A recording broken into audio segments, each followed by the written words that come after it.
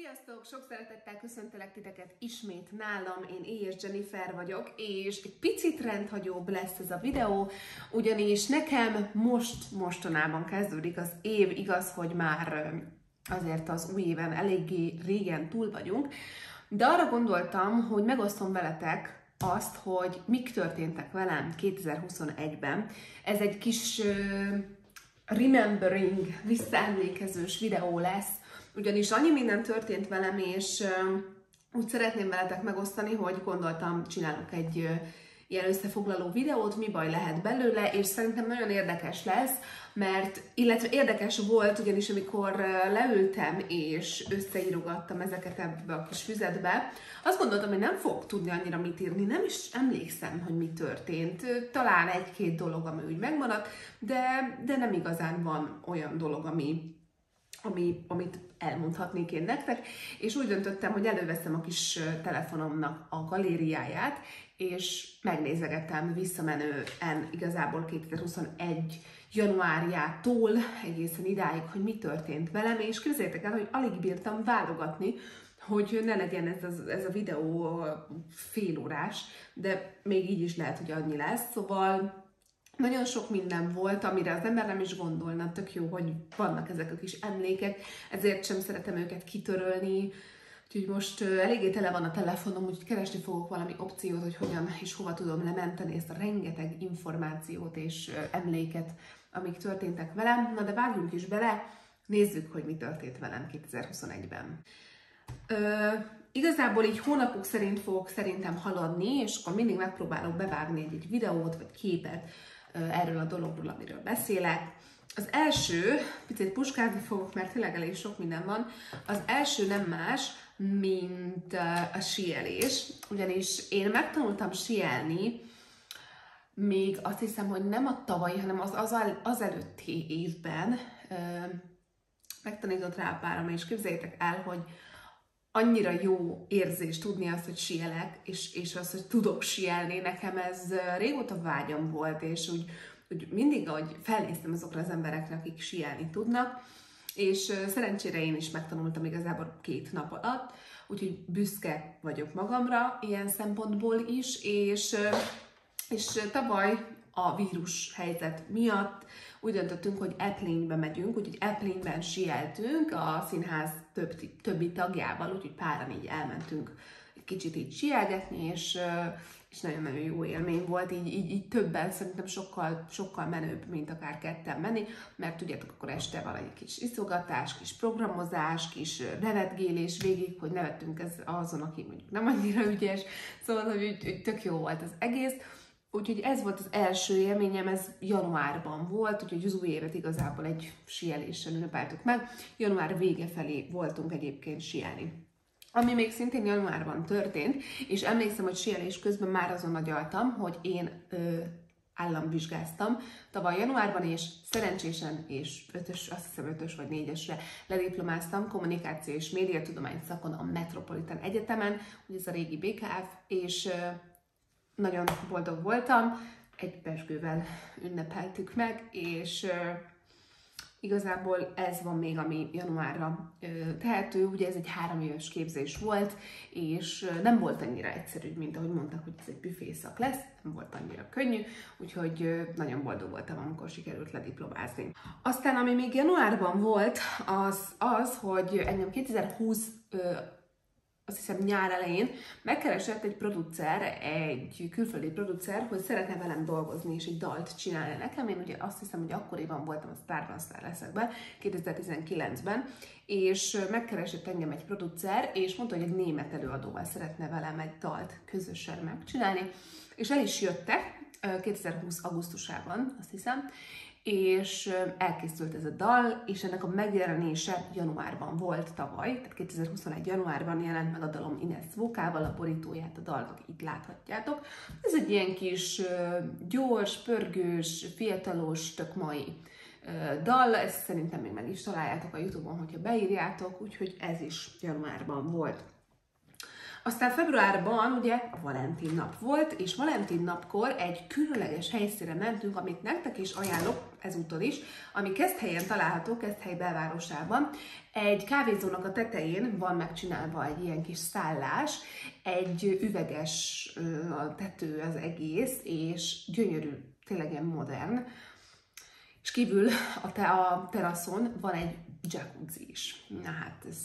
isteni jó volt, és egy sauna is, azt hozzá kell tenni. És ez az élmény egyben, hogy közben a Balaton parton vagy, de a teszthely közepén vagy, isteni jó volt. Kaját is oda rendeltünk magunknak, ugye ebben egy reggeli volt, és, és most is valami hasonlót próbálok keresni. Tehát még arra is gondoltuk egyébként, hogy mi is visszamegyünk ugyanide Valentin napozni, de azért az már lehet, hogy túlzás lenne. De nektek tényleg nagyon ajánlom, hiszen kezd helyen ez egy nagyon jó kis hely, megpróbálom belinkelni valahova nektek. Nem a legolcsóbb árkategória, azt el kell mondani, de, de iszonyatosan különleges, szerintem nagyon jól néz ki. Aztán a trendi divat fotózásai következtek, ezek voltak még februárban, elég sok fotózásra jártam akkoriban, kiismerültem amúgy utána miatt, de, de igen, elég sok trendi divat fotózásra jártam, ugye ők sziget Miklóson találhatok, nagyon szuper ruhákat árulnak, tudom nektek ajánlani szintén a Facebook oldalukat, nagyon-nagyon jó, nagyon jó ruhák vannak ott, és igazából ennyi, mindig ilyen három órákat fotóztunk, heti kétszer, háromszor is mentem, úgyhogy ez kemény időszak volt, ez februárban volt, illetve ami még nekem fontos, hogy a Diamond Coco 2.0-nak is nagykövete lettem tavaly februárban, és kaptam tőlük termékeket, amik fehérítik a fogakat, ugye nekem ez mindig egy ilyen veszőparipám a fogfehérítés, és tökre örültem, amikor tőlük ezt megkaptam. Aztán kicsit ugrunk egyet, ugyanis én ott covidos lettem, tehát márciusban én elkaptam a covidot, és eléggé durván benne voltam, egy hónapig is lábadoztam, és utána még, még mindig gyenge voltam, tehát azért ott két hónap eléggé rendesen kimaradt az életemből, és a következő, amit meg kell említeni, az májusban. Vácon kirándultunk egy kicsit, kihasználtuk a napos időt, és ott van egy nagyon jó kis étterem, ahova ki lehetett ülni, Úgyhogy egyébként is Vácra mindig el tudtunk ugrani, hiszen tőlünk fél órára található, és nagyon jó kis éttermek találtok még ott, és gyönyörű, gyönyörű. Aztán májusban volt még az is, hogy megkaptam a diplomámat, tehát kézhez kaptam, átvehettem végre, végre, végre, úgyhogy akkor nagyon büszke voltam magamra, és ezt meg is ünnepeltük. Ö, és ami még az én életemben egy meghatározó dolog, és szerintem mindig is emlékezni fogok rá, az az Aladdin című musical, amit a Nemzeti Lovasszínházzal elkezdtünk próbálni májusban. Ebből egy kis szövegkönyvet fotózok be nektek, vagy teszek be ide nektek akkor ezt találtam, így befotózgattam magamnak, és a telefonomban ez volt róla az emlék, az első emlék, és ugye Jászmint alakítom az Aladdinban, ezért ilyen fontos számomra. Tudjátok, egy, egy nőnek, egy, egy énekesnek, egy, egy színésznek szerintem ez, ez egy ilyen kis vágyálom, hogy akár eljátszó Jászmint, ugye a filmet is láttam, imádtam, és így, így beleképzeltem magam a, a helyébe a, a hogy milyen jó lehetett eljátszani a, Jászmin, tehát hogy, hogy tök-tök jó volt megélni azt, hogy, azt, hogy én, én is egy kicsit Jászminnak érezhettem magam, úgyhogy ez, ez biztos, hogy örökre meg fog maradni nekem. Aztán júniusban a TV2 egyik sorozatában forgattam, azt hiszem, hogy nem tudom, hogy mi a címe pontosan a sorozatnak, ez borzasztó, de egy ilyen esküvős témájú sorozat volt, ahol ki kellett nyomoznom, tehát ugye az, a mennyasszonynak a barátnőjét játszottam, és ki kellett nyomoznom, hogy a srác igazat mond-e a barátnőmnek, és kiderült, hogy ő gazdagnak adta ki magát, miközben tök szegény volt, és én voltam az ilyen kis, tudjátok, FBI ügynök, aki aki így ezeket felfedi, felfedezi, és én voltam a rossz rendőr ebben a, a dologban, úgyhogy az is hihetetlenül jó élmény volt, az háromnapos forgatás volt, azt hiszem, és ez is júniusban volt, mm, és ezt is tökre elfelejtettem, szóval tök jó volt így visszanézni. Aztán a Pont a szülnapomon volt az Aladdin című musicalünknek ugye a premierje, láthattok teljes setben, és én nagyon élvezem, ugye mai napig játszuk egyébként a darabot, a Kincsen Parkban most lesz márciusban, úgyhogy ha gondoljátok, akkor gyertek el. Nagyon, nagyon szeretem, igazán vicces, nagyon jó dalok vannak benne. Hát ez a török, egyébként is ez az arab-török világ annyira vonz, nem tudom, én, én biztos, hogy valamilyen távol-keleti személy voltam előző életemben, mert az a török kultúra, imádom a török sorozatokat, ugye ezt tudjátok, imádom ezeket a egyébként a latin vonal is izgat, ez az arab is, szóval, hogy egy kicsit ilyen keletiesebb dolgok, nagyon,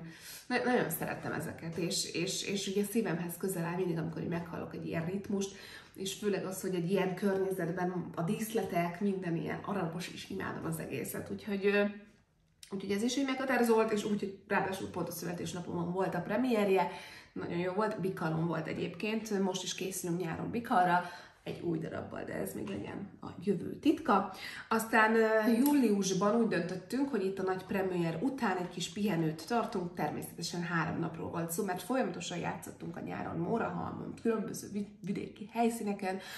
borzasztó kemény volt az a nyár, viszont egy kis pihenőt tartottunk, és a Butik Hotel Annuskában, Balatonfüreden kivettünk magunknak egy háromnapos pihenőt, és tényleg akkor ellazultunk, ettünk, ittunk, fürödtünk a Balcsiban nagyon-nagyon sokat, és hogyha még nem tudom, hogy most látjátok de valószínűleg igen, a gumimatracok is onnan származnak, ugyanis azóta ott vagynak, és ott tartom őket. Nekem tetszenek ott, de lehet, hogy el fogom őket venni.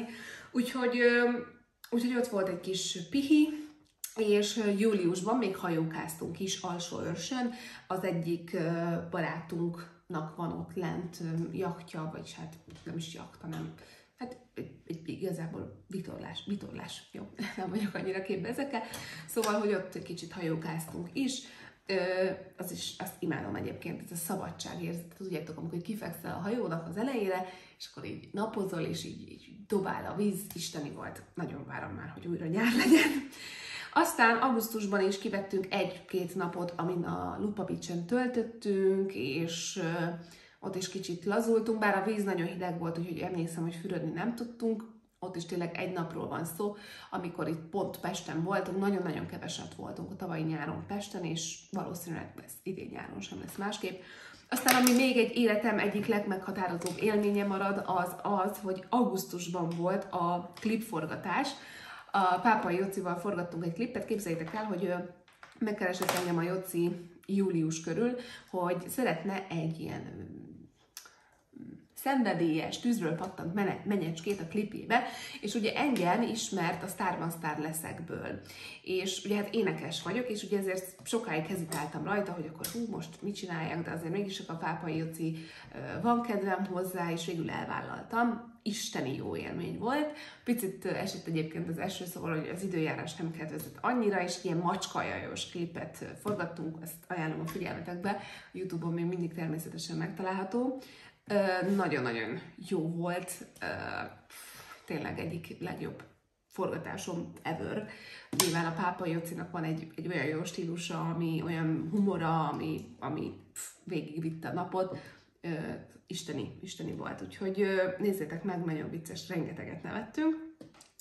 Aztán szeptemberben uh, énekelhettem a Darányi Sziszi által vezetett barátnőm egyébként, akivel tíz éve nagyon-nagyon jóba vagyok, az ő esküvői szalonjukonak a bemutatóján.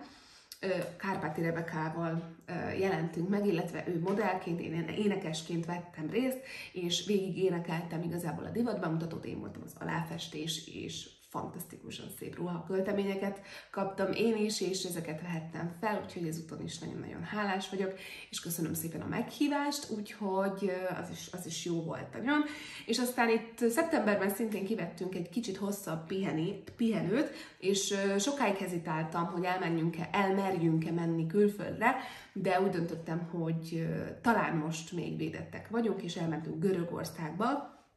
ahol egy hetet töltöttünk, hét nap, hat éj, és a tengerparton volt a szállásunk, borzasztó, nagyon-nagyon jó volt, és uh,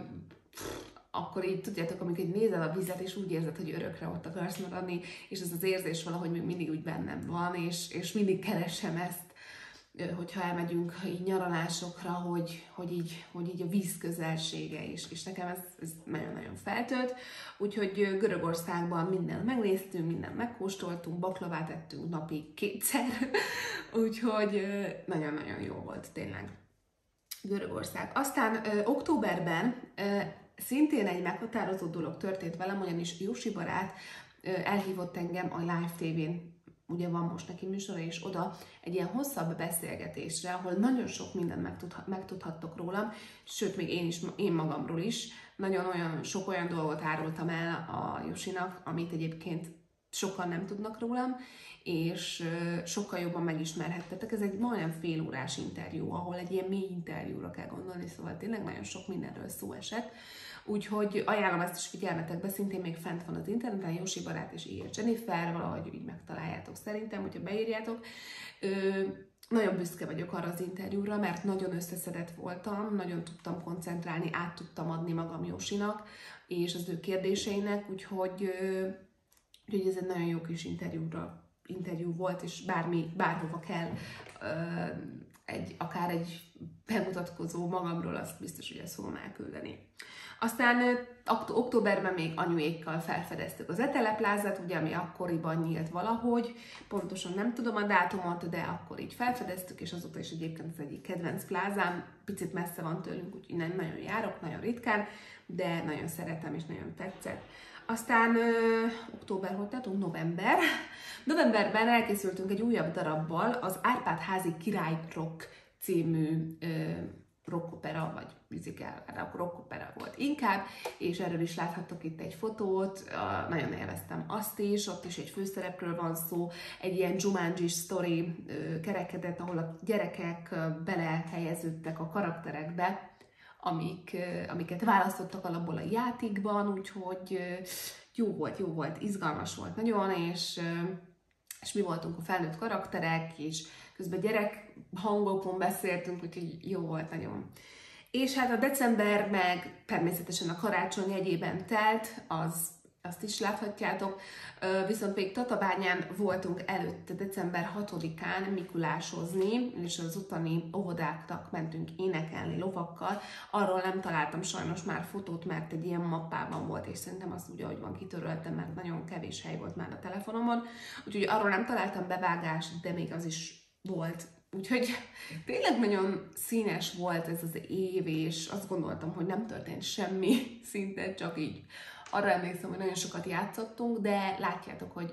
nagyon durván sok minden történt, és tényleg még, még mindig tudnám sorolni, és ezek csak a legfontosabbak. Úgyhogy én, én remélem, hogy tetszett nektek ez a videó, és egy picit még jobban meg tudtatok ismerni, és nem csak ezeket a holokat, meg unboxing, meg ezeket látjátok rólam, hanem egy picit megismerhettek, hogy hogyan élem meg a kis életemet. Úgyhogy, ha tetszik nektek ez a videó, akkor nyomjatok egy lájkot, légy és iratkozzatok fel a csatornámra, kövessetek Instán és TikTokon is. Találkozunk a következő videómban. Sziasztok!